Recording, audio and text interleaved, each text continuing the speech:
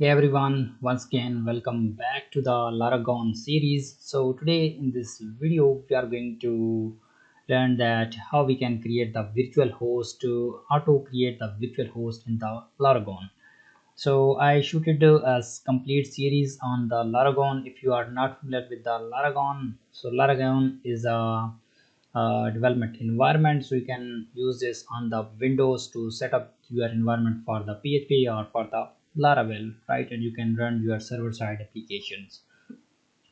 Okay, and you can also run your uh, databases too, right? And here, uh, someone commented that uh, auto create virtual host not checked. Help me.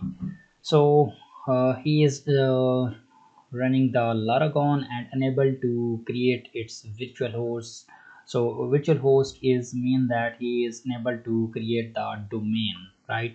So for example in the Laragon here whenever you will uh, start your application and if you created a new project inside this www laragon directory so for example here i'm going to create a new one like uh, uh, demo demo one right here and i'm going to create uh, an uh, empty index file index.html right hit enter and now I'm going to uh, start this services so it will create automatically domain for me right?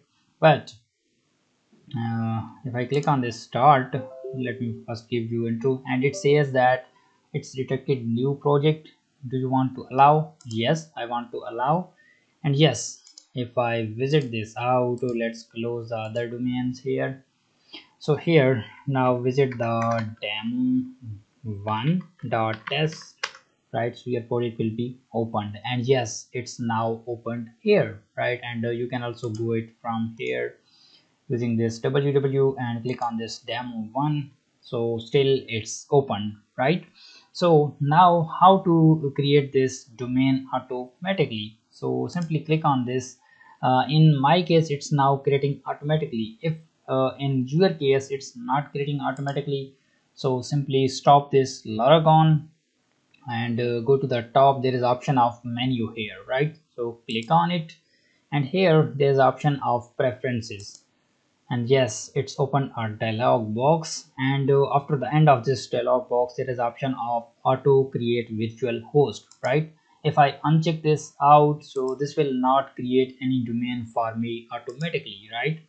Uh, i'm going to copy this same here copy and then paste right? It's demo copy so i'm going to name this demo 2 right? So now i'm going to start this uh, laragon right? So it's not detected any of the domain right? And if i visit this out here like uh, 2 dot test so it will not open this domain. Why? Because it's not created right now right? Now i'm going to stop this out right and here just click on this menu preferences auto create domain okay? And yes it's detected new project and it's, it's asking me to create this out. Yes create this out. And now if i give it a refresh let me turn on this out first. So now this will be opened right? And yes it's uh, open now. So in this way you uh, you can automate this process if you don't want to create the domain or virtual host to uh, manually right? So you can automate this process. So if you have any query so you can comment this out. And if you want to shoot any tutorial on the laragon want to add up something in the laragon series so shoot in the comments uh, box. I will uh, try to shoot this shoot the full video on it. So thank you so much for watching the videos. I will meet you in the next series. Bye bye